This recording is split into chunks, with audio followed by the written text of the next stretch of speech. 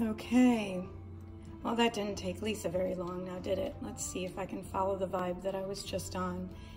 Um, we, I just brought uh, to everyone's attention, we sort of made a makeshift altar.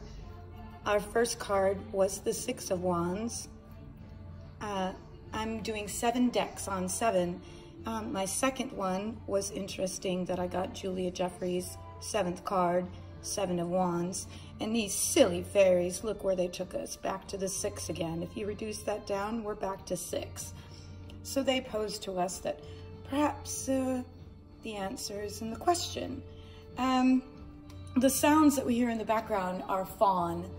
Faun and their hurdy-gurdy and their amazingness. Um, sorry if the camera isn't holding still because this fills my heart with love and I'm sure you can hear it in my voice. Um, many, many, many trips to Eugene, Oregon, um, to Faerieworlds, to meet the very person who drew these, to hang out with the very person who painted those. Um, very emotional, very awesome place.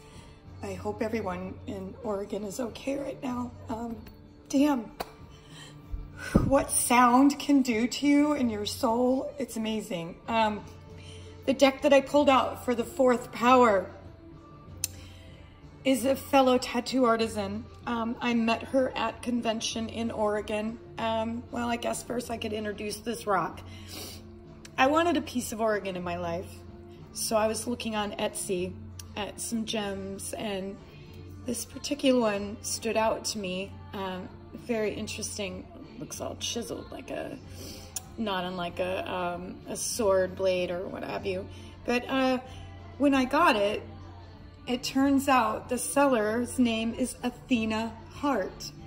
And Athena Hart is a sale uh, person who treads her wares at Faerieworlds and I actually own some of her artwork. And so it was, it's just another like small world story. And anyone who knows me knows that I'm full of small world stories.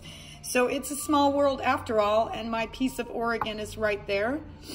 The sounds of Faun, which are in an entirely different language, are going on back there. I'm sure they'll, you know, get rid of this video in the future because I brought music into it.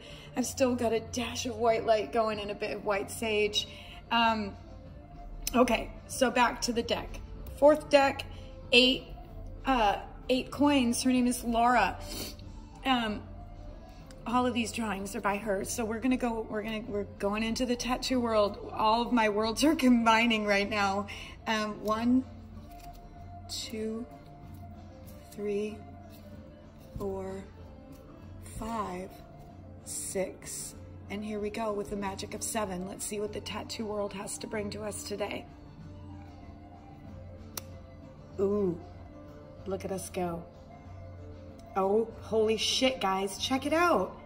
That she explained to me, this is an old deck of hers. You can get this on Amazon now, but you're not gonna get it like this.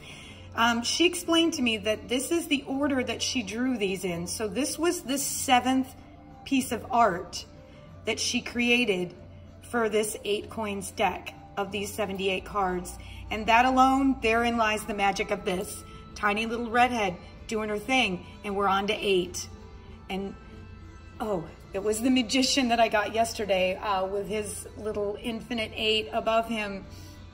Um, if you guys follow me on Facebook, you can go back and prove that to yourselves.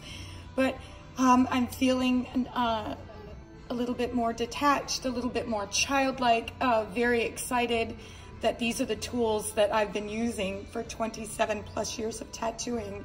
And now it took a viral lockdown for me to admit it to everybody. Okay, fourth deck down, eighth card. Therein lies the question. Where's she gonna go next?